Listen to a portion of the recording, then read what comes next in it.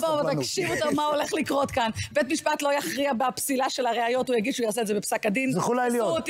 אי אפשר לערער על ההחלטה הזו, זאת החלטת ביניים. מה שכן יקרה בתיק הזה, יש כאן שתי בקשות שאפשר לערער עליהן. אחת, בקשה לקבלת חומרי חקירה, אפשר לערער עליה אונליין, ועוד משהו שיש כאן זה עתירה לגילוי ראייה, שזה בקשה לפתוח את החיסיון. עכשיו, תקשיבו לי טוב, שופטים הגונים ורציניים, אני אומרת לכם, אני רוצה להאמין, שיקבלו את החומרים ויבינו שהייתה כאן, היה כאן שימוש ברוגלות, והיו כאן אמצעים בלתי חוקיים בעליל, הם עשויים לפתוח את החיסיון, והמשמעות של זה, תקשיבו טוב, הפרקליטות, כיוון שהיא לא תרצה להיתפס במערומיה ובזדונה, חייבים לחזור מכתב אישום. היא תמחוק את כתב האישום. אני רוצה לשאול אתכם שאלה דרמטית. שנייה, שנייה.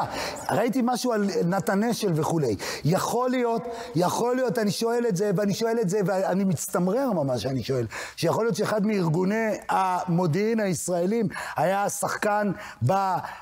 בציטוטים האלה, ולכן יש תעודות חיסיון, כי אם זה קרה, אז אנחנו בסרט אחר. אז בוא אני אסביר לך משהו על...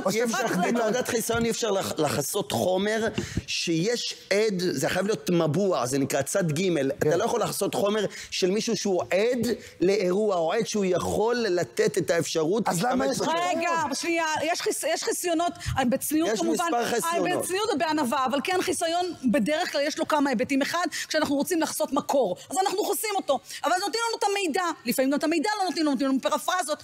פה אנחנו מגלים שהפרקליטות החזיקה חומרים, שמרה אצלה חומרים שאם לא היינו חושפים אותם, אם כלכליסט לא היה חושף, אני אינני יודעת מי, אם הדברים לא היו נחשפים, לא היינו יודעים שיש חומרים כאלה, שמרה אצלה בהיחווה, ובמחשכים בימים האחרונים הוציאו תעודת חיסיון. לא, יותר גרוע. תקשיבו טוב, אני רוצה לומר משהו לגברת פרקליטה נכבדה. תפסיקי ללעוג לאינטליגנציה שלי ושל חבריי מהמקצוע ושל שופטי ישראל, הם כבר לא חותמת גומי שלך. את כבר לא תהני מהנחת העבודה. רק רגע, הרכב השופטים, רגע, הוציאו פה. רגע. אני, למה אני רוצה שזה יגיע לעליון? רגע, אני רוצה שבית משפט יגיד. רגע, רגע. לא יגיע. רגע, תנו לי רגע. חבל לצעוק, תנו לי להשלים רגע את המשפט הזה. תקשיבו, השופטים בדין מקבלים לידיים שלהם חומרים שמלמדים על פגיעה אנושה בזכויות אדם, על שימוש בלתי סביר ובלתי חוקי בתוכנות ובפעולות חקירה פוגעניות ופולשניות. אני בתור שופטת, אני כבר מזמן הייתי אומרת להם בדיון, מספיק כבר, תפסיקו לזלזל בנו. אבל אני לא. אבל בדיון במעמד צד אחד, שממשיך וממשיך, אני בטוחה שמתהפכת להם הבטן. מתהפכת להם הבטן. תשימו לב, בתעודת חיסיון, התאריך הוא 16 עכשיו, 16 בפברואר. אני שואל את השאלה, מה? התיק מתנהל כמה שנים, כתב אישום מוגף. הם החביאו חומרים, יוסי. כשמוגש כתב אישום, תקשיב, כל חומרי החקירה צריכים להימסר לסניגורים, זולת מה שהוצא לו תעודת חיסיון. מה שמתברר, שעכשיו, בכל התקופה הזאת, היו חומרים בלי תעודת חיסיון.